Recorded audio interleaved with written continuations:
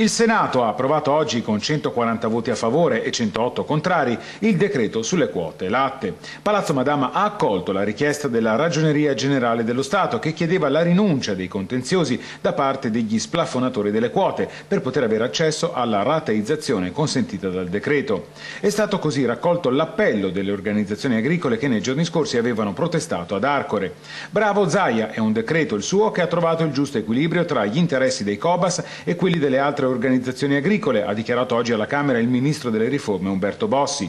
I Cobas dovranno rinunciare al contenzioso, ma otterranno un bel numero di quote latte, ha dichiarato ancora il leader del Carroccio. Abbiamo dato un colpo al cerchio ed uno alla botte.